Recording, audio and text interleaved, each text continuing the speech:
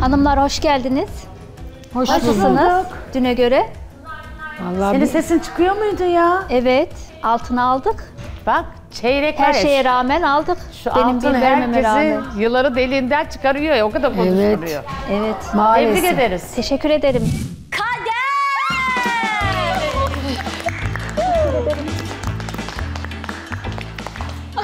Ay ilk çeyreğimiz mi? Ay çok sevindim şu an. Buyur. Tebrik Ağzınızın ederiz. tadını biliyorsunuz. Valla biz biliyoruz da sen Gönül Hanım, bilmiyorsun. Ben bir Sen ne verdin gelinle? ben şekerim düştü o anda. Ne verdim He. yanlışlıkla yaptım yani. Nasıl düşüyor? Baklava yiyor. Nasıl şekerin düşüyor? Yani. Kızlar günaydın. Günaydın. Dün çeyreği aldım biliyorsunuz. Tebrikler. Tebrik ederiz. Kızlar ben bu mutfağa, bu mutfağın kaderini değiştirmeye geliyorum. Geldik Bak de bak zaten. sen. Evet ilk çeyreğimi alarak başladım.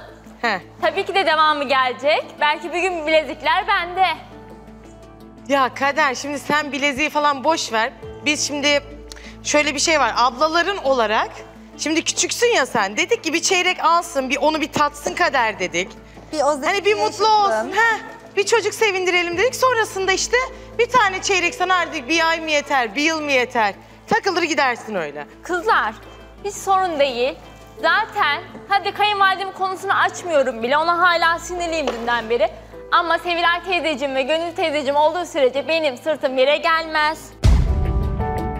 Ya Allah aşkına onların da bir kafalarının karışması bir şey sana yaradı şansına. Ama üzülmüyorum da bir yandan da hani çocuk sevindirmek sevaptır. Miyase'cim hani ben 23 yaşındayım ya.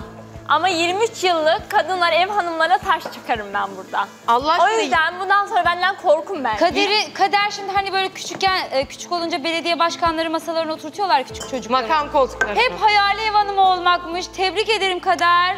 Bu hedefine ulaştın. Çok güzel. Lütfen kurdele takalım arkadaşa. Şu an çok üzüldüm. Ev hanımı eğer bir idolün varsa o ben değilim. Çok üzüldüm. Maalesef Kim ev ben de hanımı değil. Şu anda. Şu an Ev- ben çalışmıyorum evet ev hanımıyım. Ha bak Asiye idolün olabilir senin. Al Asiye'yi.